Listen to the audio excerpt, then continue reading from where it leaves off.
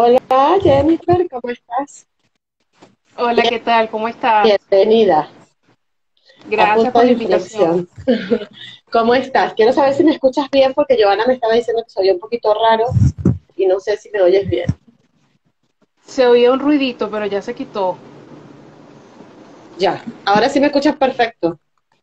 Sí, ahora sí. Ya, perfecto. ¿Cómo estás? Bienvenida, encantadísima de tenerte aquí hoy, en este punto de inflexión. Este, bueno, darte la bienvenida, esperando que se conecten un poquito más de nuestros eh, que nos acompañan todo el tiempo, ¿verdad? En estos programas de los martes. Y hoy tenemos un tema súper interesante contigo, y es feminismo, feminismo genuino. Entonces vamos a hablar de eso, que es un tema bastante interesante, álgido, digamos hasta complicado un poco, porque son temas delicados dentro de todo lo que vendría siendo el feminismo, cómo se está llevando, qué es lo que realmente está representando ese feminismo ante el mundo. Porque definitivamente hay distintas perspectivas o, visiones de esto y creo que hay gente que eh, defiende este feminismo, pero realmente como que va hacia otro, con otro camino, hacia otras cosas, que realmente no son eh, lo que digamos podríamos llamar algo feminista hoy en día. Te voy a empezar, eh, vamos a empezar con, una pregunta interesante para ti que es, eh, ¿qué es la, política en faldas? ¿Qué es ese club de los viernes, ese espacio donde estás a la cabeza? ¿Y cuál es tu rol o el rol que escogiste en esta batalla cultural? Mira, Política en Faldas es el primer programa de radio y podcast dedicado a las mujeres en la política. ¿Por qué lo fundo? Porque mm, ya la mujer tiene, este año cumple 101 años en la política. Nosotras teníamos vetado el voto, nosotras no podíamos ejercer tampoco la política y ahorita, bueno, ya se ha avanzado tanto que somos inclusive presidentes de países, congresistas, diputados, etcétera. Eh, yo veía desde mi posición política que realmente no había un sitio donde se nos dieran espacios. Para nadie es un secreto lo que está sucediendo alrededor del mundo. Eh, hay una gran dosis de censura, no conviene escuchar a todas las mujeres que hacen vida en todo el espectro de la derecha, con todas sus variantes, todas sus, sus diferencias humanas ¿no? necesarias. Em, se me ocurre hacer este espacio porque además veo, y en Venezuela estaba pasando algo que Lamentablemente ya no pasa, pero es porque ya no hay canales de televisión, ya no hay medios de comunicación. Pasaba algo que era que siempre se invitaban los mismos especialistas a opinar. Y yo veía mujeres preparadas a mi alrededor, veía economistas, ingenieros, no sé qué, mujeres que estaban en la política y nunca les invitaban a hablar. Y solamente llamaban a las mujeres, como dije una vez en una columna de opinión, el Día de la Mujer y eh, donde invitaban además a las mismas señoras adecas de siempre que hicieron historia quizás hace 50, 60 años atrás. Entonces dije, mira, es el momento de hacer algo y además eh, no es un problema, un programa de política más, sino que es un programa de educación. Ya programas de denuncias hay muchísimos, pero el problema, y siempre lo he dicho, y creo que la primera vez que lo dije fue en Repúblico, es la primera vez que me invitaron, eh, es que no hay educación en la política, nunca había educación en la política. Tú le preguntas a la gente qué te, qué te gusta o qué no te gusta y la gente solamente va a decir yo no soy chavista, pero hay mucho más allá de no solamente ser no chavista o chavista. Entonces, el educar a la gente, porque hemos visto con los resultados de las elecciones eh, más recientes, para quien quisiera algo más fresco, la gente no está educada políticamente hablando.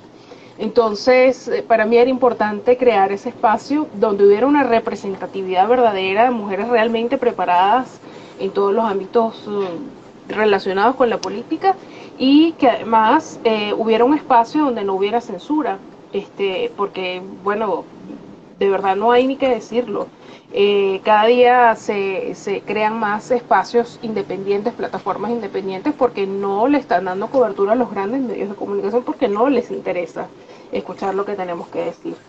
Em, en cuanto al Club de los Viernes, el Club de los Viernes es una de las plataformas por excelencia que se creó en Hispanoamérica de, em, de libertad.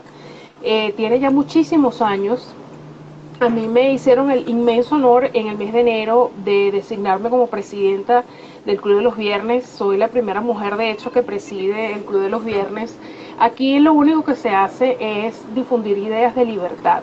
Libertad económica, libertad política, libertad social, este es un sitio que yo eh, me gusta mucho porque lo encuentro muy abierto, ¿no? Aquí están conservadores, están liberales, están paleolibertarios, están ateos, judíos, aquí está todo el mundo que, esté unido bajo el concepto de la libertad.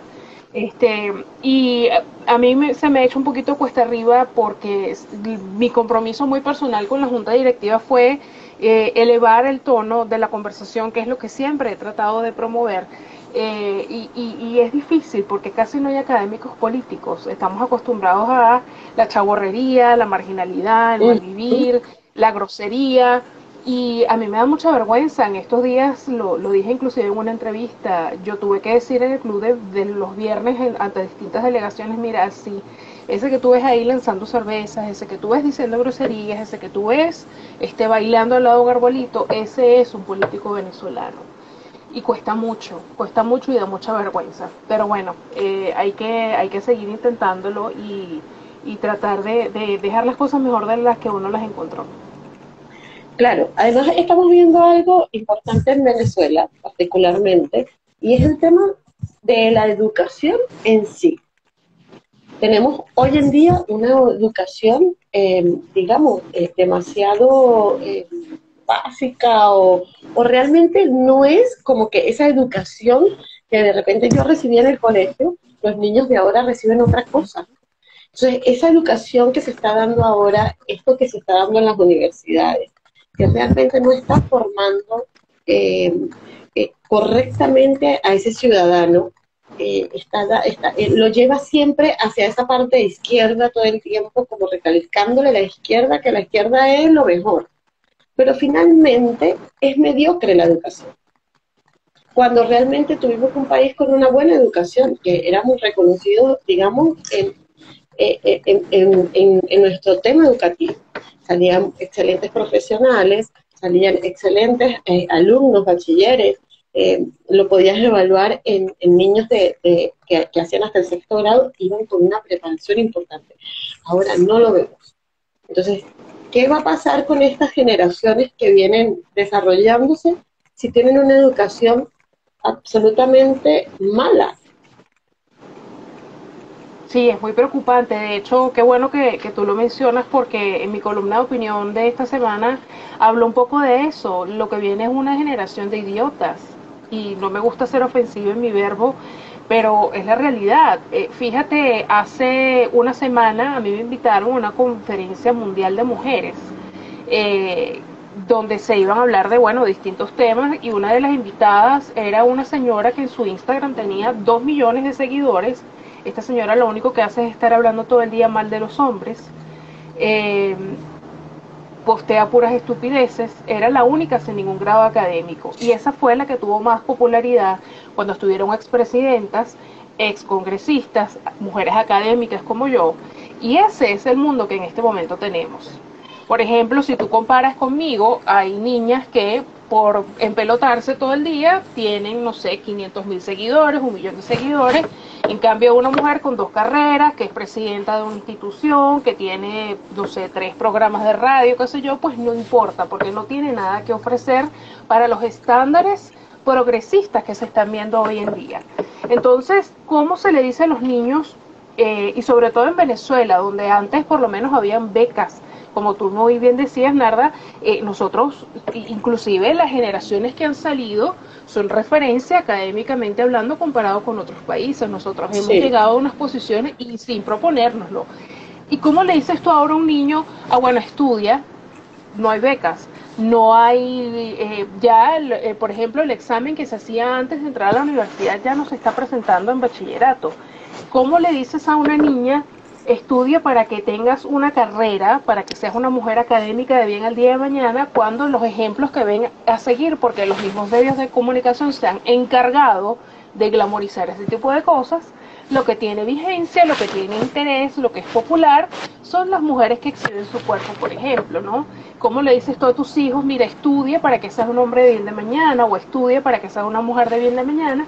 Cuando entonces vemos que los méritos para que te inviten a una cumbre mundial de mujeres, donde están expresidentas, es que estés todo el día hablando mal de los hombres en tu cuenta de Instagram. Claro. O sea, tenemos un mundo muy complicado y, y bueno, eh, la, eh, como dice un conocido escritor, eh, el, mal está presente porque los buenos no hacemos nada, ¿no? Y creo yo que los que son padres hoy por hoy tienen una gran tarea porque aunque no sea lo popular, pues es lo que hay que enseñarle a nuestros hijos, méritos, que hay que estudiar, que hay que ir por el camino del bien. Esa es la única forma de vida que yo conozco. Claro, y finalmente eh, está, lo que está ocurriendo hoy en día es que hay una sociedad marginalizada completamente, eh, envuelta en una chabacanería total y que no está y que es lo que le está transmitiendo a sus hijos que vienen copiando estas conductas. Entonces, estás haciendo eh, de, estas, de estos jóvenes o de estos niños que van a ser el futuro de un país, el futuro del mundo, una gente sin principios, sin valores eh, morales, eh, donde el, más vivo es el que gana, el, que puede este, dañar al otro, pasarle por encima para, subir, eh, está bien y eso hecho. Eh, entonces, esta sociedad que se está formando, que viene además de la, debajo de la bota de todo este socialismo espantoso que, que invadió Venezuela, eh, es una, o sea, yo me pregunto, ¿cómo rescatamos a, esa, a, esa, a esos jóvenes, a esos niños que están siendo adoctrinados desde hace más de 20 años? Mira, es complicadísimo y yo he visto, porque trabajo con jóvenes, yo trato de formar jóvenes, de hecho yo estoy dentro de las eh, personas que da formación en la Fundación Cartier, que es la misma, eh, la misma Cartier de las prendas. Ellos tienen una fundación para eh, darle educación a mujeres que están en situación eh, económica y social desfavorecida. Y me ha tocado formar muchísimos jóvenes. La forma que yo encuentro, porque es quizás la que tengo en mis manos, es irles dando ejemplos. Por ejemplo, me ha tocado, y que ahora que lo nombraste me recordé de eso, me ha tocado, por ejemplo, hace, no sé, dos programas, yo invito a una jovencita que está por graduarse de Derecho en la Universidad Metropolitana. La niñita no atendió al programa, me dejó eh, plantada, cosa que yo no hubiera hecho jamás, porque en mi casa me enseñaron que el tiempo de la gente se respeta, que si yo no puedo ir, aunque sea tarde, pero yo aviso, mira, discúlpame que no pude ir, etcétera. Eh, mira, eh, enseñarle para otra oportunidad, mira, lamentablemente no, no puedo trabajar contigo porque yo necesito eh, gente cumplida y responsable.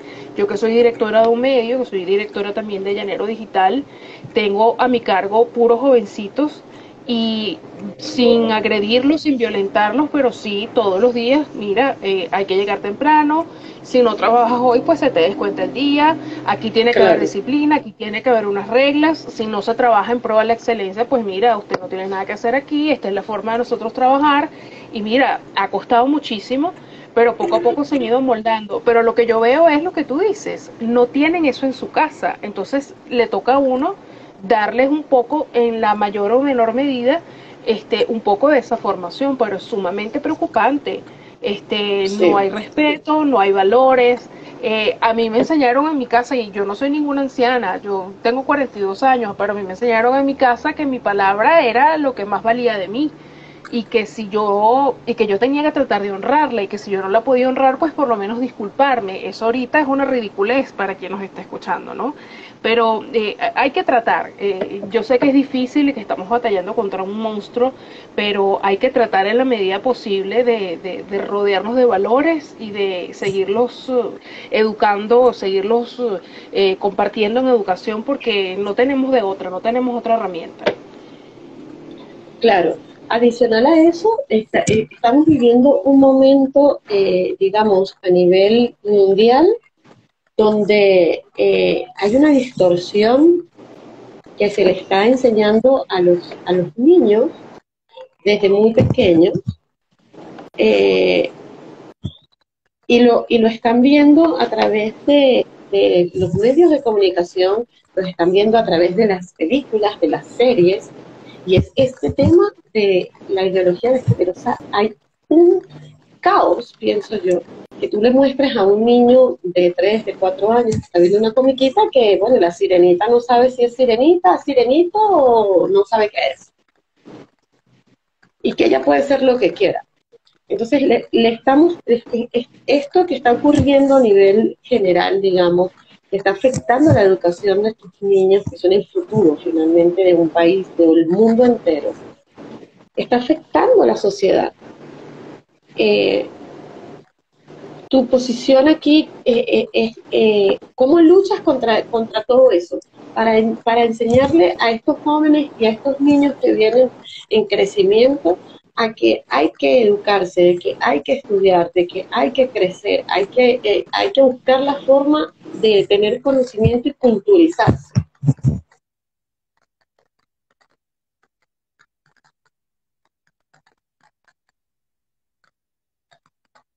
Creo que Jennifer tiene una llamada. Nada, que lo que comentaba era que sí, en efecto, este, este tema, esta historia de la ideología de género y todo lo que está sucediendo abruma muchísimo.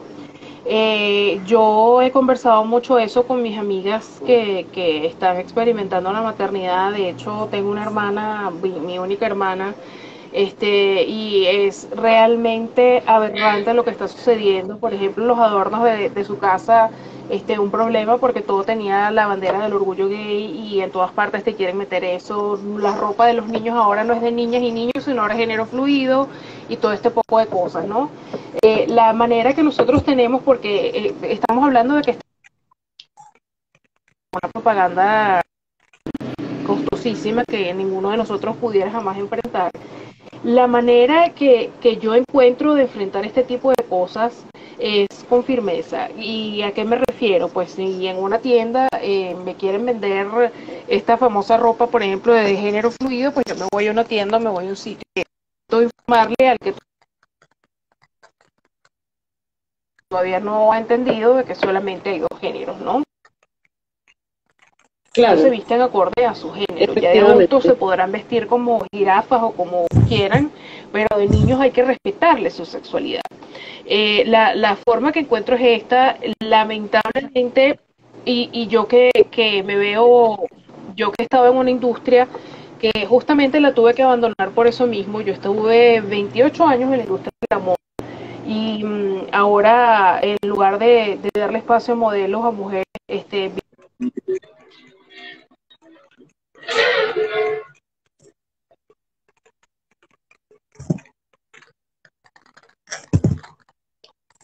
Jennifer, seguimos con problemas con tu conexión porque creo que es que tu señal realmente va y viene. Un tema tan interesante como este, además. Sí, eh, el, el tema con el movimiento progresista, que son una maquinaria inmensa, que cuentan con muchísimo dinero y, lamentablemente muchos adeptos porque se han dejado comprar y se han dejado convencer de que esto eh, es algo realmente positivo. Eh, la única opción que, tenemos a mano, y, creo yo que volvemos otra vez a lo que estábamos hablando hace rato del tema de la formación y de los principios, es eh, los valores que cada uno de nosotros tenga.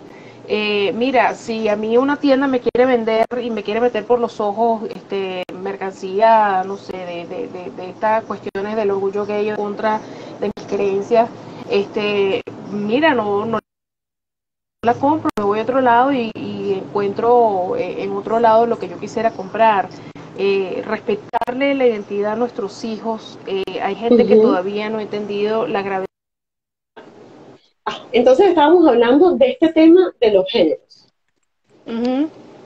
Eh, sí, eh, mira, eh, yo, yo soy partidaria de que a los niños hay que hablarles con la verdad, porque si no va a llegar alguien, un tercero, y le va a llenar la cabecita de mentiras. Entonces es preferible como padre, yo sé que es duro, es complicado, yo todavía no soy mamá, pero lo estoy viviendo con mi sobrino. Es un panorama muy complicado el que tienen ahorita, papá y mamá pero es preferible que yo como mamá le hable a mis hijos y le diga la verdad a que el día de mañana lleguen a mi casa diciendo mamá, pero es que yo me siento cocodrilo porque yo no me no estoy en un lago como un cocodrilo, ¿no? O sea, eh, yo, yo prefiero pasar por ese mal rato a después estar con la tragedia de que mi hijo tenga la cabecita llena de mentiras porque vino un tercero, porque yo lo permití. Entonces, eh, es un momento muy complicado, inclusive nosotros como adultos tenemos que cuidar mucho que dejamos entrar en la cabeza.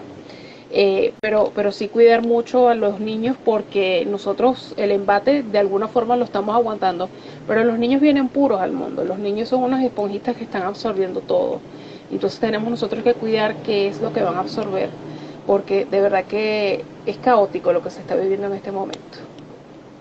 Es que adicional a eso te decía eh, anteriormente que lo estamos viendo hasta Disney no ha sacado ni una sola película donde no te recalque eso, donde siempre hay una pareja de homosexuales, donde hay una pareja de eh, una persona por lo menos donde que no sabe si es una niña, pero no sabe qué es, o viceversa, si es, si es niño, o una pareja de dos niños, o una pareja de dos niñas. Entonces, eh, cuando tú ves eso que es, esa, inocencia que tienen los niños para ver esas comiquitas de Disney, que son tan famosas, ¿verdad? Y que todos la hemos disfrutado de alguna manera, y ves la manera tan agresiva como ellos están mostrando esto eh, para educar a nuestros hijos de una manera muy, eh, digamos, muy tapadita y en una comiquita. Entonces, en estos días yo veía eh, una serie del Rey León, del Rey León cuando está pequeño, y no sé, o sea, hay alguien que no sabe si es tigre, si es un leopardo o es una jirafa. Entonces, tú, eh, el niño, ¿qué piensa? Bueno, él es un león, pero se siente jirafa. Yo me puedo sentir una flor y la gente lo tiene que aceptar. Adicional a eso, este, están creando una, una, aceptación a todas estas cosas que parecen aberrantes de verdad, donde la sociedad te quiere imponer que tú aceptes a una persona que para, para mi punto de vista tiene un problema psicológico, de conducta, mental, y que no le estamos dando, o sea, no le estamos dando la importancia que merece esto. En estos días eh, tenía en un programa y hablaba con Esteban y le decía, Esteban, yo vi un caso de un señor de 64 años, no sé, que se cree niña de 7 años y lo viste la esposa como una niña. Entonces tú no sabes quién está más loco, si la esposa o el hombre de 63 años que se cree niña, que le ponen trenzas, que le ponen un vestido, y es un tipo que tiene hijos. ¿Qué le estás mostrando a tus hijos? O sea, ¿no te das cuenta tal vez que esto es un tema mental?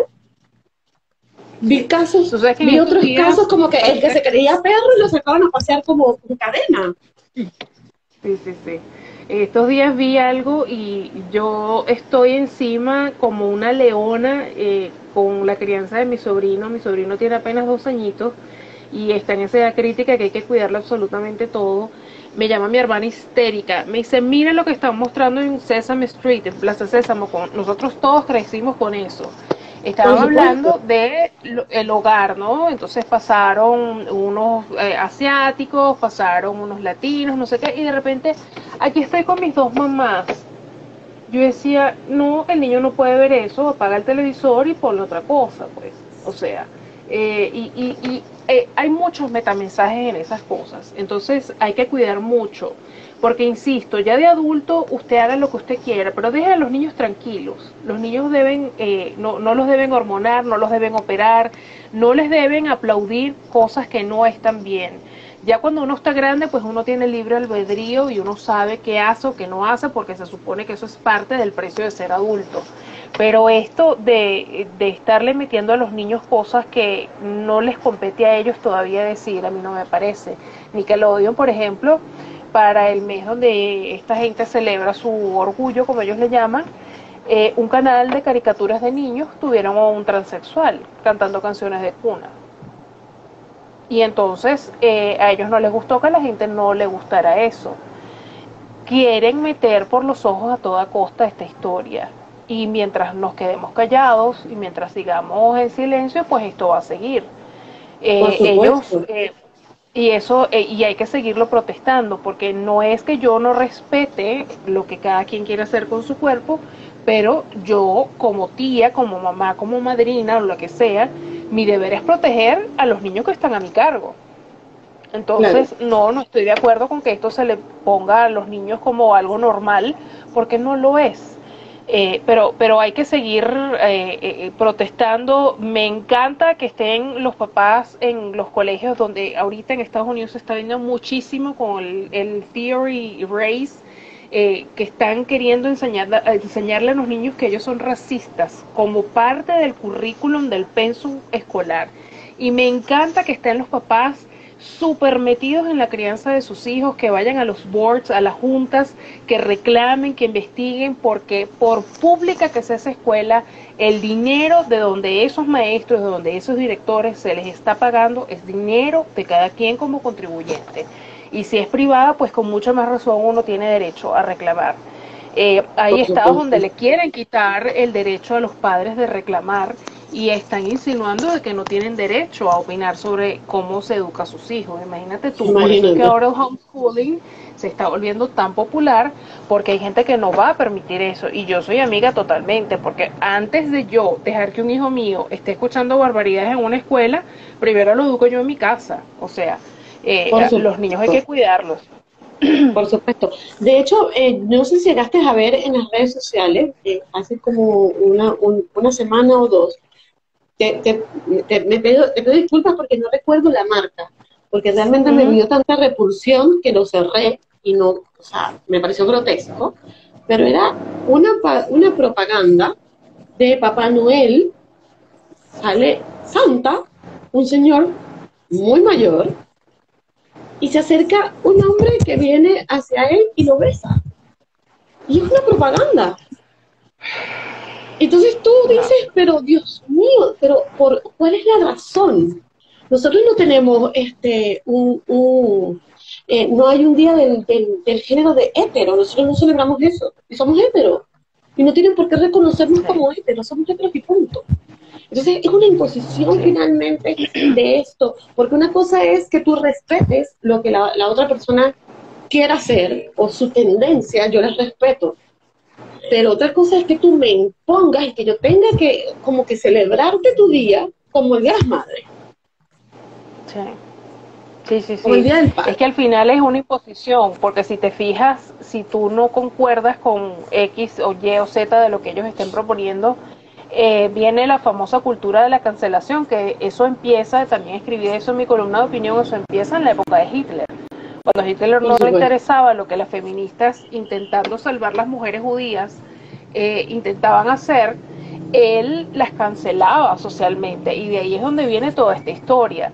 Si a los progresistas no les gusta lo que tú estás diciendo, viene la famosa cultura de la cancelación. A mí me lo hicieron el año pasado por esta época porque escribió un artículo donde yo hablaba de que Carolina Herrera vestía a Michelle Obama, vestía a la primera dama actual de los Estados Unidos y vestía a la señora Melania Trump y decía que, bueno, ella es como una comerciante más, porque si le importara su marca, siendo venezolana, pues no vistiera demócratas que evidentemente están en contra de la libertad de Venezuela, la democracia, etcétera, etcétera.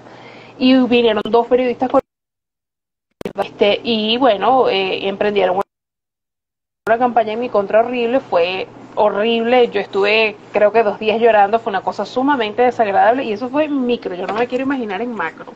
Este, pero hay que, hay que eh, combatir eso y yo sé que es difícil, pero yo siempre digo que la verdad hay que decirlo aunque nos tiemblen las piernas.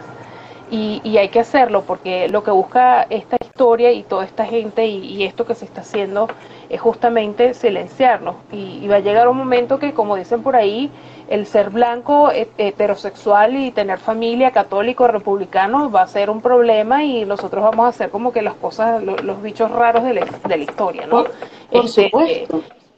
Y, y, y, no, estamos llegando a un momento muy terrible, muy terrible. Eh, yo, yo que tengo raíces judías, te lo juro que jamás me imaginé que, que yo de alguna forma estuviera repitiendo la historia de mis antepasados, ¿no? Este, no, de verdad que es muy lamentable todo esto que está pasando, pero con, hay que actuar con firmeza ahora más que nunca. Por supuesto que sí, porque es que además el, este tema de que le digan, le digan a, nuestros hijos, a estos niños que todavía son inocentes, que están de alguna manera em, este, haciendo su identidad, se están identificando. Y que tú le digas, mira, tú puedes hacer lo que tú quieras porque hay género libre. Eh, no, no puedes tener género libre, o sea, tú eres un niño y te comportas como un niño. Y si tú creces, te haces un adulto y mañana quieres ser una otra cosa, es tu asunto. Pero tú no puedes dañarle la psiquis a los niños, porque finalmente este, este tema del, del, del, de involucrarlos, porque eh, el otro tema que yo veo delicado, digamos, es, es que los niños, a medida que se van desarrollando, van viendo el patrón en sus padres. ¿Qué pasa cuando estos niños eh, crecen en una familia o en un hogar de dos hombres. Lo van a ver como que él también tiene que ser de, ese género porque se está criando ahí. Es el ambiente que está conociendo. Entonces, lo estamos perjudicando, le estamos dando como que una, una mala señal, eh, eh, una mala enseñanza a estos niños que son puros, finalmente. Sí, sí, sí, sí. No, y se están normalizando cosas que, que no deberíamos, ¿no? Y nosotros los adultos que somos los que le debemos procurar a ellos una estructura para que el día de mañana eh, sean hombres y mujeres que puedan eh, batallar con cualquier embate de la vida, pues estos niños yo no sé qué va a pasar, porque ahora, eh, y ojo, no quiero normalizar la violencia por nada del mundo, porque ya hay, hay gente que se pasa más bien al otro extremo pero a estos niños de hoy se les está normalizando que em, se, se, se, sientan frágiles ante todo, que todo les parezca mal, que todo les parezca discriminación, esta generación woke que llaman la generación despierta. Este, yo tengo conocidos que me empiezan a hablar de que yo soy una blanca colonizadora y no sé qué, unas historias que te lo juro que me empiezan a hablar de eso y yo mentalmente desconecto de inmediato porque es que no le veo sentido y, y, no lo encuentro práctico estar trayendo historias de, no sé, 400 años para acá. Y esa es la generación que se está levantando ahorita. Una generación que te dice que es normal que hoy te sientas mujer, que mañana te sientas hombre, que pasado mañana tú te sientas iguana porque es tu derecho. Y, y, me parece que han jugado demasiado con historias dolorosas, como por ejemplo la disforia de género que existe y es un tema en extremo delicado. Entonces aquí se han jugado con muchas cosas, se ha abusado con muchas cosas. Eh, hablan mucho de diversidad y de inclusión, pero en lo que tú dices algo, enseguida te cancelan porque tu voz colonizadora y maltratadora viene en contra de mis de derechos y no sé cuánto. O sea, aquí y, se están yendo a unos extremos realmente peligrosos. Entonces, creo e insisto que el deber de nosotros como adultos es darle una estructura sólida a estos niñitos que están creciendo ahora, porque viene un panorama complicadísimo. Y yo siempre lo converso con mi hermana. Tú tienes que hablar muy claro con el bebé, porque el día de mañana va a decir alguien, ah, pero es que yo soy Roberto, pero trátame como Juana, y si no me tratas como Juana, entonces tú me estás discriminando. Tú le tienes que enseñar que esa persona tiene disforia de género, que hay nada más dos sexos, mujer y hombre, y que lamentablemente ese es el mundo en el que vivimos. O sea, pero hablar siempre con la verdad, por más que duela, por más que dé miedo, que yo sé que da miedo a veces, pero hablar siempre con la verdad. Por supuesto que sí. Eh, te hago una pregunta. ¿Cuál es la diferencia entre feminazis y feminismo genuino? Mira, yo, tú sabes que yo estuve investigando de esto.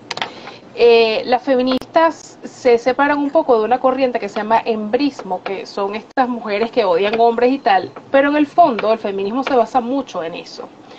Eh, el feminismo genuino, como le dicen muchos, y, tengo una muy querida amiga psicóloga que le llama feminismo natural, son mujeres que defienden la condición o el hecho de ser mujer, pero de una manera muy sana, entendiendo de que hombres y mujeres somos diferentes, que tenemos los mismos derechos, eh, pero no esta locura de estar odiando hombres, de estar atropellando, de querernos nosotras sentir hombres, eh, de, de, querer quizá conquistar derechos de una forma atropellada, ¿no?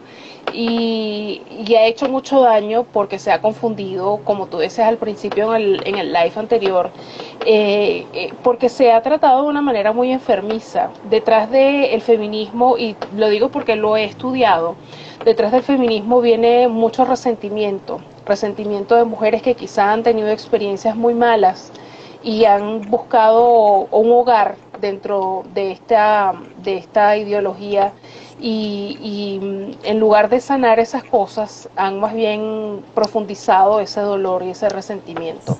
Y tenemos lo que tenemos hoy por hoy, que es un desastre. Nos toca a las mujeres una tarea muy ardua y, y, eso ha sido una de las razones que me ha mantenido de pie cuando a veces quiero mandar toda la porra porque a veces provoca pero eh, esta situación en la que estamos las mujeres ahora, de que de entrada uno tiene que decir, no, no soy feminista, soy pro vida, no sé qué, no sé cuánto, nunca se había vivido eso y ahora estamos viviendo esa situación eh, y, nos ha afectado a todas, absolutamente a todas, eh, pero hay que, hay, que seguir, hay que seguirlo hablando porque lamentablemente el daño ha sido mucho. Por supuesto, además vemos que estas mujeres intentan de alguna manera imponer algo que es de todo menos femenino. Yo no encuentro en, lo que ellas eh, defienden feminidad. Yo. Yo he visto eh, actitudes grotescas de estas mujeres que defienden, que son feministas eh, eh, esa forma de, odiar al hombre eh, porque es machista, pero ¿qué? El 100% de nosotros no son machistas. Somos nosotras más machistas que nosotros. generalmente. Sí, fíjate el hombre no se hace machista solo. Exactamente. Exactamente. No, y que, ese hombre machista? Es curioso porque primero nosotras tenemos por lo menos la mitad de la responsabilidad ahí.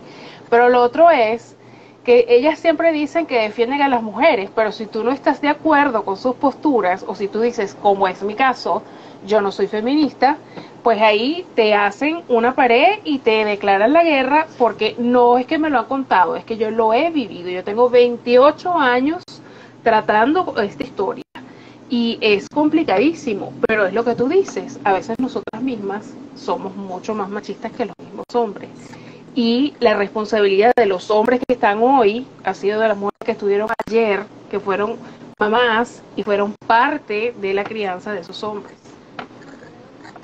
Por supuesto. Y es que definitivamente, eh, o sea, hay cosas en las que nosotros como seres humanos podemos ser iguales, pero hay cosas que nos diferencian y que yo jamás voy a tener, primero no puedo tener la misma fuerza que tiene un hombre. Corporalmente no la tengo por más pesas que yo alce, por más que yo sea fisiculturista, nunca voy a superar la fuerza del hombre. Eso por ahí. Hay, siempre va a haber trabajos de fuerza que el hombre va a poder hacer que la mujer no. Hay cosas que de repente eh, la mujer puede hacer que el hombre no.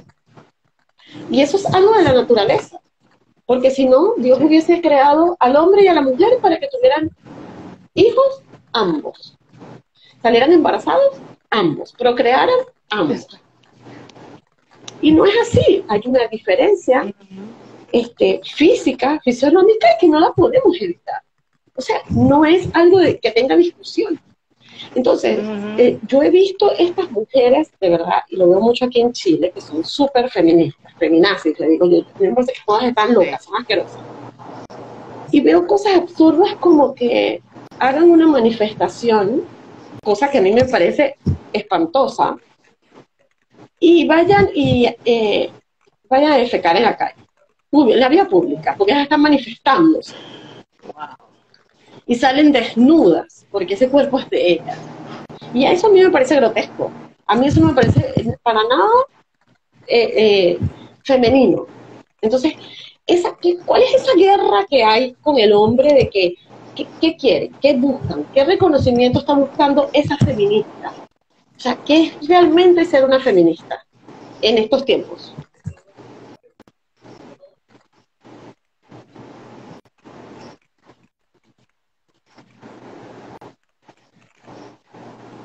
No, sé si me escuchaste ahora. Porque te veo, pero no te escucho. Sí, sí. Ah, no, mira, eh, es súper, súper vergonzoso eso a mí. Cuando, cuando empezaron esta, esta oleada de manifestaciones en Chile y en Argentina, que son súper eh, feministas, a mí me da mucha vergüenza porque yo decía realmente qué es lo que quieren reivindicar estas mujeres con estas actitudes, ¿no? Tú dices, ven acá, pero eh, ¿cuál es el mensaje? Pone que tú vas a elevar a, a otra mujer, a otra congénero o como tú lo quieras llamar, teniendo este tipo de actitudes. Eh, yo en realidad no entiendo, fue algo que a mí me dejó muy desconcertada, tengo que decirlo, porque fue todo tan grotesco y, y me recuerdo que había videos de varios sitios. Eh, a mí me dejó un muy mal sabor de boca porque lejos de lo que ellas han estado haciendo, yo considero que deberían haber hecho más bien todo lo contrario. Si tú quieres elevar, si tú quieres representar, dignificar, eh, no sé, el, el, verbo que quieras utilizar a un colectivo de personas, no es un poquito más lógico quizá que tú busques que se vea bien ese grupo de personas y que se hable bien de ese grupo de personas en lugar de dejar mal parado y avergonzar ese grupo de personas. Eso es una pregunta sencillita que yo me hago en este momento. Y en ese momento yo no vi eso. Luego me enteré porque estuve escuchando activistas que fueron feministas en algún momento, lo que el entramado publicitario que hay detrás de eso. Y de verdad que es muy vergonzoso. Yo no creo que logren nada eh, en cuanto a dignificar, como dicen ellas. Eh, no sé cuál es la inquina que tienen con los... Eh, yo he escuchado barbaridades que no voy a repetir porque me da muchísima vergüenza pero no me siento representada, aunque ellas les muestre que uno diga eso.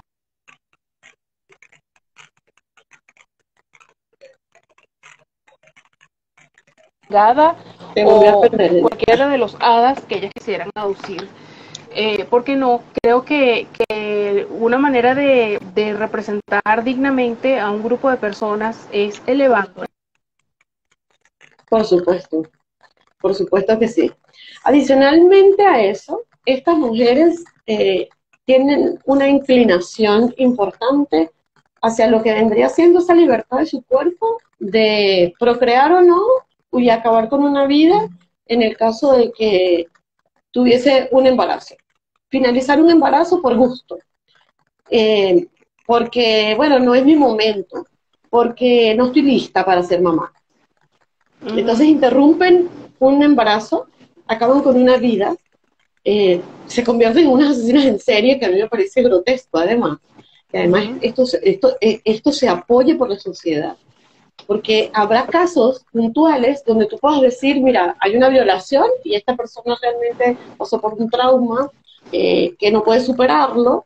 Y bueno, ya, digamos que yo, yo tampoco lo puedo justificar al 100%, pero digamos que, clínicamente la persona no está en capacidad o X.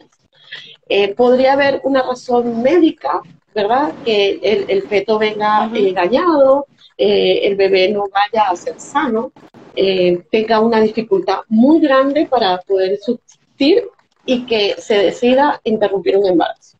Ahora, yo no estoy de acuerdo en lo absoluto con que tú eh, tengas eh, relaciones sexuales con un hombre, te embaraces y después digas, ah, no, pero es que yo no quiero tener un hijo ahorita porque estoy estudiando o estoy en medio de mi, mejor etapa de mi carrera o de mi profesión, porque en ese caso entonces o no tengas relaciones o simplemente cuídate. Porque si tú acabas una vida, eres un asesino, así de sencillo. Entonces, nosotros, en este caso, nosotros los repúblicos, este, peleamos por, por, y luchamos y queremos proteger la vida del no nacido, porque es importante. O sea, hay que proteger eso. Hay que sembrar esos valores. Entonces, ¿de dónde viene todo esto? Lo vienen trayendo y arrastrando estas mujeres también que quieren decidir sobre su cuerpo, como quien decide este, ponerse unos zapatos hoy y mañana ponerse otros. Y definitivamente esto va más allá, esto tiene una responsabilidad moral y un daño a la sociedad. Porque si vamos a un punto de derecho, eh, si la mujer en este caso, tiene su pareja, su novio o, su cónyuge, digamos, no están dentro del matrimonio y ella sale embarazada y no desea tener el hijo, el padre también tiene derecho a decidir si quiere tener el hijo. Pero finalmente no lo tiene. Entonces, hacen de esto como algo tan liberal. Que, ¿Cuál es tu opinión sobre ese, sobre ese punto? Mira, este punto de todas las cosas que se están debatiendo en este momento de la historia del mundo, para mí es el más sensible de todos y siempre va a ser mi talón de Aquiles. Yo quiero ser mamá, no he logrado ser mamá todavía porque para mí el ser mamá incluye el tener el papá, el tener el hogar, el tener la estructura para poderle dar esa, digamos que esa base a, a ese bebé que viene en camino no concibo para nada porque es que me parece tan aberrante, tan espeluznante el decidir matar a un bebé y encima ser tan desgraciada, porque no puedo decirlo de otra forma, de llamarlo cúmulo de células, tratando de deshumanizar esa criatura. Eso es una criatura que vive, que existe y que viene de ti. Y, hay que ser muy desnaturalizado para no tener ni siquiera un ápice de, de sentimiento por ese bebé que viene en camino. Yo estoy al igual que tú de acuerdo con que en caso de una violación eh, no se puede obligar a una mujer a tener ese bebé porque hay que verle la cara a un abuso sexual. Y eh, hay distintos abusos sexuales además y creo que es algo que, que de hecho deja a la persona traumada de por vida. Pero ya tener esto como un método anticonceptivo a mí me parece demasiado aberrante. Para eso hay métodos de protección. Y ahí si digo yo, te tienes que cuidar. No, yo no, no, no voy a poner a la ligera de cuídate y cierra las piernas, no. Porque hay abusos sexuales, eh, de hecho tiene unos números sumamente alarmantes en Latinoamérica y esa es la base de los embarazos no deseados y ahí es donde hay que atacar y no se ha hecho, no se ha hecho porque no les ha dado la gana, porque no les conviene. Pero además de eso, hay asociaciones como Planet Parenthood, que eh, tienen un negocio con el tema de los bebés y de los, de los abortos. Eh, para mí es un tema demasiado delicado porque no consigo matar a un bebé. Este, y, y yo difiero de esta señorita pañuelo verde que dicen mi cuerpo, mi decisión. Cuando tú estás embarazada ya no es tu cuerpo, es el cuerpo de tu bebé que está dentro de ti formándose como otro ser humano. Entonces ya no es tu cuerpo. Eso de tu cuerpo, tu decisión me parece genial si tú te quieres poner un piercing, si tú te quieres... Estamos hablando de otra vida, es un tema demasiado delicado. Y creo que hay que seguir porque dentro de toda esta era woke o, o de niños despiertos,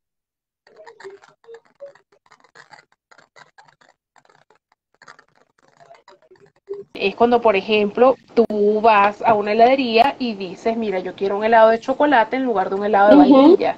Eso es una elección. Eh, o el derecho de decir, mira, no, yo quiero que en el taxi haya aire acondicionado porque yo quiero ir más cómoda.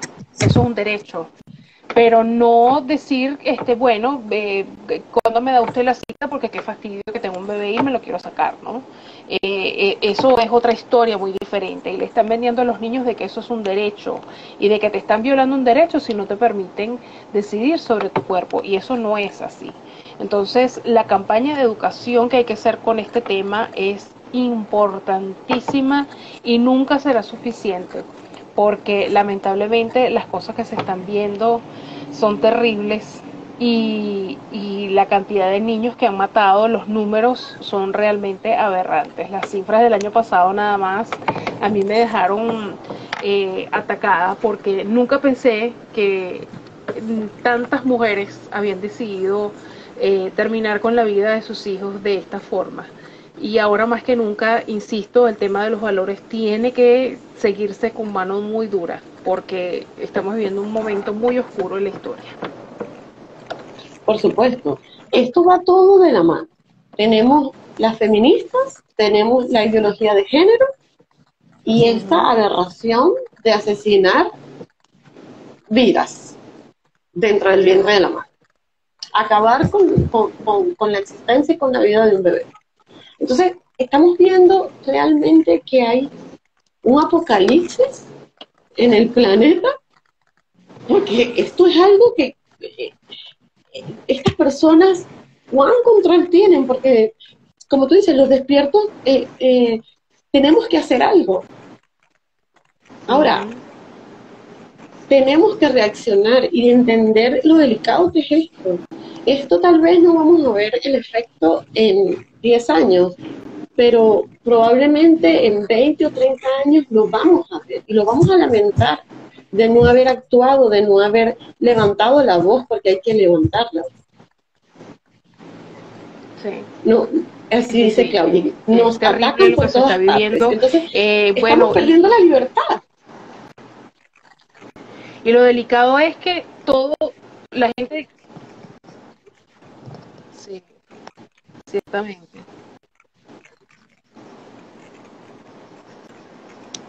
Hay muchísimos problemas con la conexión, por eso ofrezco disculpas porque siento que estoy interrumpiendo, pero es eso el, delay que hay con, el tema de la conexión. Sí, pero una de las cosas que la gente debe saber que esto no es espontáneo, todo esto está planificadísimo desde al menos 20 años. Esto está en el foro de Sao Paulo, esto usted lo consigue, cualquiera de los que nos está viendo, en el website del foro de Sao Paulo. En el foro de Sao Paulo dice que hay que eh, eh, promulgar, proponer, eh, promover aborto, ideología de género, uso de drogas, porque eso viene, la batalla verde viene, también lo he dicho en mi columna de opinión y todas estas cosas que estamos viendo, todo esto tiene una maquinaria propagandística, propagandística por detrás, esto tiene un soporte de dinero importante por detrás, esto no es espontáneo, esto todo ha sido planificado para que se esté dando en el tiempo que se esté dando ahora. Entonces, como digo, es una máquina inmensa, esto es un monstruo, pero si nosotros no hacemos en nuestra parte, pues va a ser peor todavía. Por supuesto. Y, el tema es que a medida que vamos eh, manteniéndonos inactivos y cada vez más inactivos, eh, esto, esto va en aumento.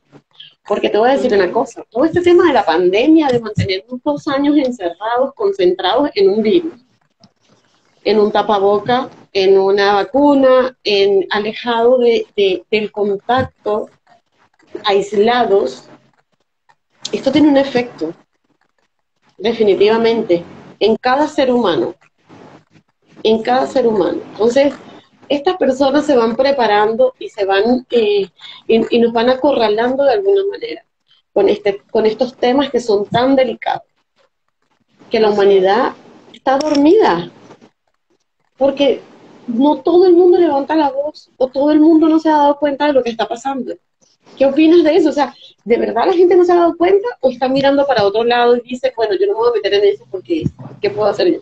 Sí, sí, sí. No, es que fíjate, yo respeto lo que cada quien, ahora sí hablando como adultos, lo que cada quien decida que, que va a hacer. Respeto al que se quiera vacunar y al que no se quiera vacunar. Pero ¿no le parece a alguien sospechoso o que huele un poquito mal? que inclusive en este momento, mientras nosotros estamos hablando en Austria, ya hay campamentos al mejor estilo nazi para aquellos que no se quieren vacunar. Insisto, usted es libre de vacunarse o no vacunarse, porque estamos adultos. Pero ¿no le parece a la gente un poquito sospechoso, digo, aquí aplicando el cinismo, de que están pasando todas estas cosas? Antes era una vacuna, pero entonces ahora son tres. Antes era el COVID, pero entonces ahora es el otro y así vamos, ¿no? Eh, no nos funcionó, entonces vamos, vamos a, por la otra mentira, vamos a por la otra historia. Y en estos días yo leí un meme y lo compartí. A la gente en algún momento le tiene que hacer ruido lo que está pasando, porque es que ha sido así. Casualmente, desde que empieza la historia del virus, mira todas las cosas que han pasado social y culturalmente hablando. Esta cultura woke tuvo su auge justamente en el momento en que arranca la cosa del virus. ¿No le suena a alguien un ruidito detrás de que todo esto que ha estado pasando no es casualidad? Digo yo. Esto es para que usted reflexione, usted que nos está viendo donde quiera que esté, porque tenemos que ser un poquito más inteligentes y tener un poquito más de malicia. Esto no es y analizar también un poco las situaciones, porque definitivamente hay que pararse un segundo y decir, pero ya va, ¿qué es esto que me están diciendo ahora? O sea, ¿qué es lo que pasa? Eh, eh, eh, es impresionante, de verdad, y, estas personas llevan una velocidad increíble. Adicionalmente a eso, eh, hay este, esta ola, como que si fuese poco, eh, lo de las feministas, como si fuese poco lo de la ideología de género, que es aberrante, ya lo hemos hablado, y con esto del aborto. Adicionalmente a eso, entonces ahora quieren hacernos ver que la pedofilia es algo como que, mira, si te gustan las matas, que te gusten. Entonces, eso, eso tiene que hacernos un ruido, no un ruido, un estruendo, porque eso no es normal. Yo no puedo aceptar eso, yo me niego a aceptar que la gente quiera ver eso como algo normal, porque no es normal. Pero fíjate que yo toda la vida, para que, es que, es que ha cambiado todo tanto, tanto, tanto, que hay que hacer como que un par de aguas de esos cinco años para acá. Hace cinco años antes, yo admiraba mucho los famosos TED Talkers, la gente que iba a las charlas TED a contar sus experiencias de vida. De hecho, yo quería eh, contar mi experiencia de vida ahí. Pero espérate, en los TED Talkers está una señora, y le digo señora porque en mi casa me enseñaron respeto, donde ella habla de que no se deben criminalizar a los pedófilos, que ellos solamente sienten atracción a menores de edad. Espérate. O sea, eso es como que, no sé, ustedes traigan aquí un loco que diga que bueno, que eso está bien, pues. ¿En qué lugar quedan los repúblicos si trajeran una persona que dijera eso? Pierden toda la seriedad. Así pasó con esta gente. y eso lo están intentando normalizar. En New York, mientras tú y yo estamos hablando, ya hay una, un, un proyecto de ley, un proyecto de ley que va a buscar que no se criminalice la atracción a menores de edad y que se rebaje la edad en que las mujeres pueden casarse siendo menores de edad ahorita. Estamos en noviembre del 2021. New York es a unas horas de vuelo de donde estamos nosotras cada una. Eso está pasando ahorita. Más la cantidad de metamensajes que estamos recibiendo por todas partes. Entonces, esto no es juego, esto no es casualidad y como dices tú, no es que es un ruido, es que nos tiene que llamar la atención el grito que nos están pegando por supuesto. en el oído y no nos esto es un estruendo. Esto es un estruendo. O sea, yo, yo no puedo, yo no podría siquiera imaginarme eh, una situación como esa y que la gente lo vea normal, porque eso no es normal, eso es enfermo. Tú no puedes robarle la inocencia a un niño. Entonces, ¿qué pasa con estos padres? ¿Qué pasa con los padres? Porque yo tengo un hijo, mi hijo ya es un adulto, mi hijo tiene 26 años. Y él ya sabe qué es lo bueno y qué es lo malo. Y yo me siento a conversar estas cosas con él y él me dice, mamá, pero es que tienes que ser un enfermo para eso. O sea, no hay otra cosa. Entonces, como para no llenar a los psiquiátricos de locos, bueno, hagamos que esto sea normal. Sí, de hecho, eh, para quien, y fíjate, tu planteamiento no está nada, nada al lado de los pelos. Para quienes quieran ver un poquito de qué se trata esto, en Netflix hay un documental. El documental habla de una niñita que fue abducida o secuestrada por un pedófilo. Los papás lo permitieron y no solamente lo permitieron. A la niña la rescatan, el tipo vuelve a secuestrar a la muchachita y los papás lo vuelven a permitir. Si usted quiere saber de qué se trata, vaya y búsquelo. Ese documental está ahí.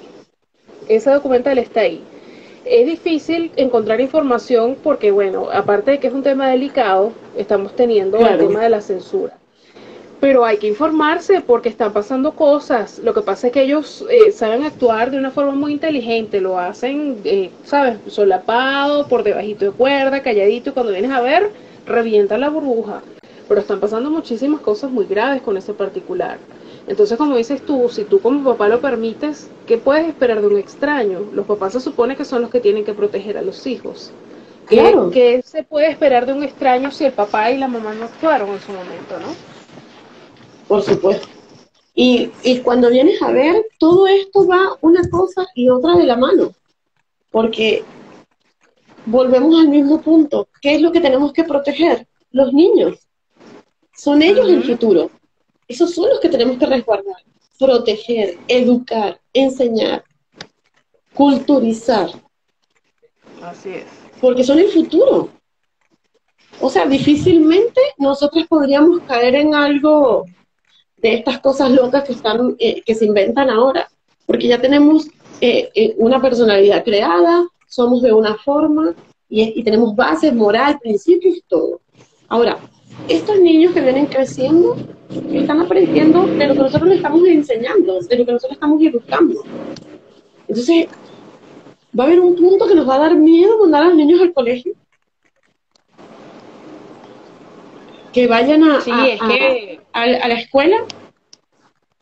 Sí, sí, sí, es, que, es que ya, ya está pasando, o sea, en este momento está pasando y, y eh, muchos padres han estado optando por el homeschooling o la educación casera, porque dicen, yo no voy a dejar que mi hijo eh, esté de repente con un maestro que no le han chequeado los récords, no saben si es un señor de estos que abusa de menores, este, no sé si es otra señora que le va a enseñar a mi hijo que está bien, este, que yo le enseñe que sea racista, etcétera, etcétera. Y esa es la, la opción que están tomando los padres ahorita. La cantidad de, de padres que están sacando a sus hijos de la escuela para educarlos en casa es impresionante, porque al principio esto se da con el tema de la, de la, de, de, de todo este receso que, que, al que nos metieron a todos obligados, ¿no? Con el tema del virus. Pero es que ya no está siendo una opción, sino, no está siendo una alternativa, sino una opción, porque los papás se están dando cuenta de lo que está pasando. Y yo tengo amigas, o sea, no es chiste, no es chisme tampoco. Amigas muy cercanas a mí que me dicen, Jenny, ya yo no voy a dejar a mis hijos ir a la escuela porque esta, la, la maestra, bueno, en la escuela están eh, dando libros eh, que el título o el contexto del libro es socialismo para niños.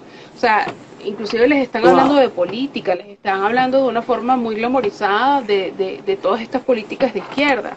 O sea, son muchas cosas las que están pasando y hay papás que están tomando la determinación de que no van a permitir que les contaminen la, la mente a sus hijos, pues. Por supuesto. Y, y hay que hacerlo, hay que hacerlo porque es que es demasiado grotesco lo que está sucediendo. Definitivamente sí este, aunque saltemos de un punto al otro, eh, hay un tema, eh, algo que te quería comentar con este tema de la ideología de género, eh, que acabo de recordar. Y es el caso, no sé si lo llegaste a leer, de un hombre que fue acusado de violación. No me recuerdo, no recuerdo ahorita en, qué país fue. Y él se declaró homosexual, o sea, que él se sentía trans, que él era mujer. Su biología de género es que él era una mujer, él se siente mujer. Y como tal fue juzgado. Un violador. Este hombre, como se sentía mujer, lo llevaron a una cárcel de mujeres. Y en la cárcel de mujeres violó a otra mujer. Entonces, esto, esto, o sea, nos tiene que hacer un llamado. Tenemos que de verdad frenar esto porque esa ideología de género, eso que tú te sientas cualquier cosa y la gente tiene que aceptar, es un arma de doble filo. Este señor se sentía mujer, ya había violado a varias mujeres, lo meten en la cárcel de mujeres porque él se siente mujer y viola a una mujer. Uh -huh. Pero es que fíjate, un ejemplo para el, para el que no entienda, porque eh, de repente hay gente que le parece que es como que mucho. En las Olimpiadas que hubo hace algunos meses atrás, en varios puestos dejaron competir a transgéneros. Cuando dejan competir a transgéneros y esos transgéneros ganan, por supuesto lo que estábamos hablando hace rato, las mujeres y los hombres físicamente no somos iguales, no importa cuán grande sea la mujer, jamás va a tener la fuerza de un hombre, la estructura ósea, la, la parte tiroidea, las hormonas, no somos iguales físicamente. Uh -huh. No importa cuánto te hormones, tú te dejas de hormonar y vuelves a lo que tú eres originalmente. En las Olimpiadas dejaron que competieran transexuales y por estar esos transexuales hubo mujeres que no pudieron competir. Algo muy sencillo para que la gente entienda, las que se quejan del patriarcado opresor, el patriarcado les está ganando otra vez la batalla, porque son hombres vestidos de mujeres que están ocupando los espacios que deberían estar ocupando las mujeres, porque esas mujeres lucharon para estar aquí. ¿Qué es lo que hay que hacer? Vuelvo otra vez, insisto, porque es la única herramienta que tenemos. Tenemos que seguir hablando, mano firme con esto. ¿Qué hubiera hecho yo deportista en una situación así? En el podio, cuando me llamen a recibir mi medalla, mira, yo no me voy a parar ahí porque ahí está un hombre y esto es una competencia de mujeres. En el momento que tú te paras ahí, tú estás refrendando eso, tú estás aprobando eso con tu presencia. Eso es lo que hay que hacer, porque hemos sido demasiado complacientes con esto. Y vuelvo, insisto, se está jugando con algo muy delicado, que es la disforia de género. Eso es un tema que debe tratarse con psicólogos eh, y, no se está resolviendo de la forma que es. Entonces, eh, es sumamente delicado para los... y ahora se están empezando a ver más y más y más casos, pero eso va a seguir creciendo. Esa gente que está defendiendo, no, que pobrecito, que no sé qué, ya van a ver, por andar pobreciteando, ya van a ver lo que va a pasar, porque es que es cuestión de tiempo. Por, algo somos diferentes. Y eh, al, yo sé que hay gente que quizá no le guste esto, pero eh, Dios nos hizo de esta forma, por algo somos diferentes. Y, ahora más que nunca creo yo que debemos celebrar nuestras diferencias. Hace poco, aprovechando que, que estábamos hablando de que todo esto que está pasando viene financiado por muchas instituciones, eh, no es un secreto para nadie que entidades como la ONU, la OEA, lamentablemente han estado eh, refrendando y, aplaudiendo cosas que, que, no están bien. Hace poco sale un reporte del Instituto de Psicología de los Estados Unidos diciendo que era malo que los hombres tuvieran mucha testosterona. Ahora se está hablando de un replanteo de la masculinidad. Y ahora entonces estamos celebrando mujeres con bigotes. Es sutil lo que está sucediendo, pero está sucediendo.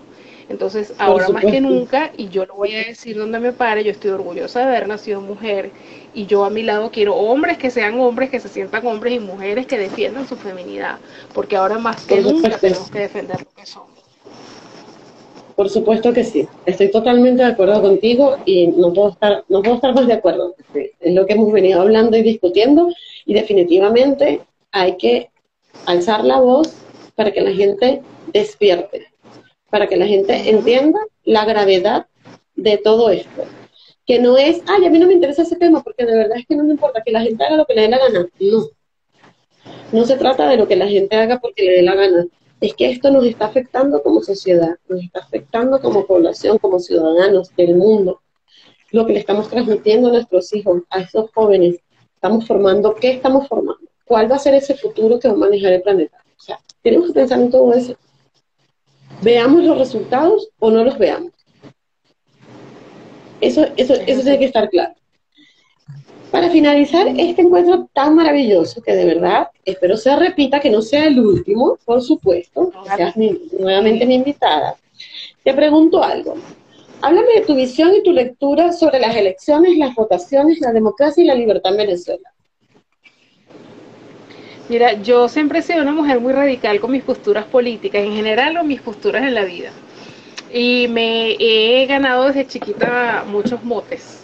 Talibana, Margaret Thatcher, Doña Bárbara, para ustedes Porque hay cosas que no admiten grises. Y la política venezolana es una de esas muchas cosas que no admite grises. No estoy de acuerdo para nada en, en medio de una tiranía estar yendo a elecciones. Es un sistema irrito que aquí se aprueba y se avala lo que dice una sola persona, ya sabemos quién es esa persona, pero además, como siempre digo, con unas máquinas que están intervenidas. Y esas máquinas intervenidas, eso ha sido admitido públicamente por los mismos creadores de las máquinas. No hay forma de que el voto del ciudadano se respete haciendo unas elecciones aquí. No hay forma de tener unas elecciones transparentes. Pero además de eso, que es el problema más grave que yo veo aquí, no hay forma de hacer un país con tanta inmundicia política que existe. Aquí hay todavía gente de AD y de Copella haciendo vida. No le han dado paso a caras nuevas. Y muchas de las caras nuevas se han contaminado con estas viejas políticas, estas maneras tan nefastas de hacer política además. Yo no quiero eso para el país y definitivamente tiene que, no me gusta usar la palabra reset porque eso me recuerda mucho a la agenda globalista, pero ciertamente hay que hacer un reset en el país, porque la pudrición que hay es tal que hacer unas elecciones es engañarse, es como poner perfume encima del río Guaire, el río Guaire tiene solamente materia fecal, poner perfume ni siquiera cubriría por algunos minutos el olor de lo que se despide de ahí.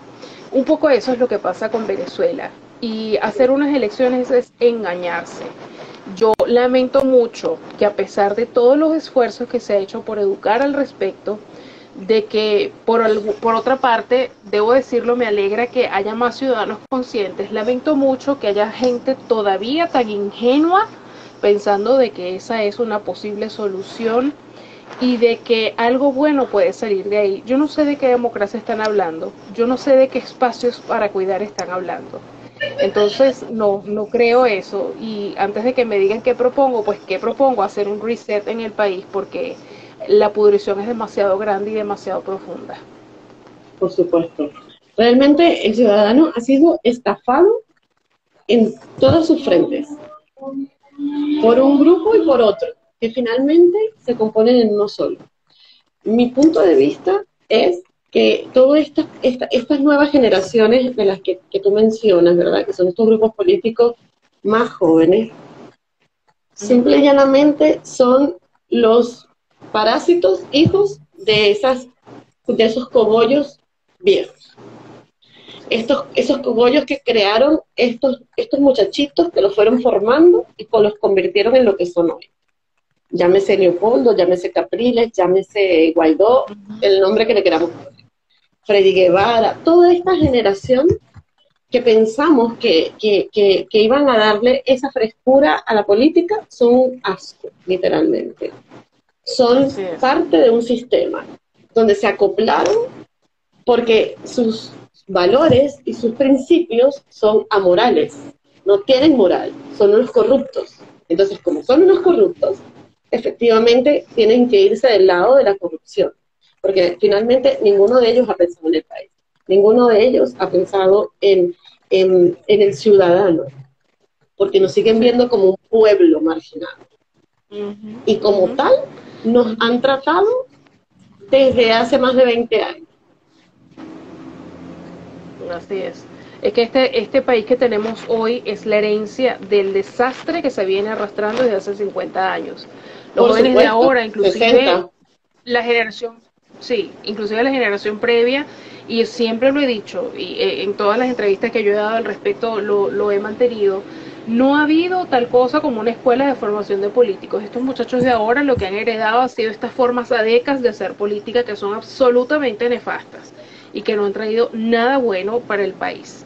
Yo no quiero ni siquiera regresarme a la Cuarta República, yo quiero un país de primera, y siempre lo he dicho, y un país de primera no se consigue volviendo a lo que hubo antes, que tampoco fue bueno. Entonces, yo siempre lo digo y, a veces hasta me da risa, pero que hay que hacer un exorcismo, hay que, hay que hacer una limpieza profunda de la casa, como leí por ahí, y, y eh, arrancar de tajo toda la, putrefacción que hay desde raíz. Aquí hay un problema muy grave que muchos no están queriendo ver. quiero creer que es por ingenuidad y no por ignorancia escogida, que son dos historias muy diferentes. Pero hay que hacerlo, porque así como estamos no podemos seguir. Por supuesto. Y que finalmente estos politiqueros eh, balurdos lo que han hecho es eh, utilizar al ciudadano para mantenerse ahí robando. Eh, han utilizado la esperanza, que es algo tan, tan, tan frustrante, yo me siento frustrada por eso, porque digo, ¿cómo es posible que juegues con la esperanza de la gente, de la desesperación de la gente? De verdad hay gente que realmente anhela un cambio, que no puede salir del país por una razón o por otra, por una razón económica, porque son una familia muy grande, porque no se quieren separar, porque su núcleo familiar eh, eh, es lo más importante para ellos. Pero estas personas son tan nefastas, tan miserables, que no les ha importado, no les ha importado absolutamente nada. Entonces tratan de mostrar una Venezuela fantasiosa, llena de narcotráfico, de lavado de dinero, donde lo que corre en Venezuela es una moneda ilegal, porque es ilegal, no tiene un sustento, no hay un sustento real, no hay nada que soporte esa, moneda, ese dólar que recorre Venezuela de punta a punta. Y que de verdad pensemos, no, pero por lo menos hay dólares recorriendo las calles. ¿Qué pasa con el ciudadano? Se acostumbró, ya no tiene fuerzas para luchar, ya dice ya que me lleve a corriente y qué más voy a hacer. vemos que esto es un sistema que tienes que partir, o sea, tienes que quebrar este sistema porque es muy grande. Yo pienso que esta gente se blindó demasiado bien y que para poderlo sacar necesitas destrozarlos. Y la manera de destrozarlos no es con unas elecciones, definitivamente es a plomo trancado. El problema es de dónde vamos a sacar esas armas para trancarnos a plomo con esa gente y sacarlos. Sí, con, una, con unas elecciones además se porque ante la comunidad internacional y ante todo el mundo, inclusive moralmente hablando, es una forma de decirles, bueno, sí, es cierto, tú eres autoridad y tienes tanta fuerza de autoridad que hoy decido si te dejo o no te dejo en tu cargo tenemos un país eh, realmente roto por todas partes y hay mucha gente engañada y seguimos con el cuento de que este es el país de las mujeres bonitas y el país del petróleo y de resulta que Venezuela en este momento, el país de las novelas, Venezuela en este momento tiene los índices más altos en niños desnutridos, en gente analfabeta, tenemos una industria de prostitución legitimada de concursos de belleza, de la cual molesta cuando se habla, pero hay que decirlo. Tenemos unos políticos corruptos que ninguno vale ni un poquito nada. Hay problemas por todas partes y aquí hay gente que sigue viviendo en esa fantasía. En un país que quizá existía hace 20, 30 años atrás, pero que tampoco era un país perfecto. Por eso digo que yo no quiero volver a la cuarta, que fue el país que yo conocí. Yo quiero ir a una Venezuela de primera donde nada de estas cosas existan. Yo quiero ver hombres y mujeres formados que estemos dando ejemplo y cátedra afuera con nuestros conocimientos. Quiero que se escuche nunca más de que hay niñas prostituyéndose a través de un concurso de belleza porque esa es la forma que ellas se encuentran de surgir. O de que hay hombres que están conquistando otros senderos a través de la droga o siendo pranes, por ejemplo. No quiero nunca más escuchar de un político venezolano porque hasta ahora todos nos han dejado en vergüenza, absolutamente todos, de alguna u otra forma. Entonces, insisto, aunque no me gusta la palabra, pero sí que hay que hacer un reset desde todo punto de vista porque el país está en crisis, el país está en terapia intensiva y con muy pocas esperanzas de vida. Por supuesto que sí, totalmente de acuerdo contigo.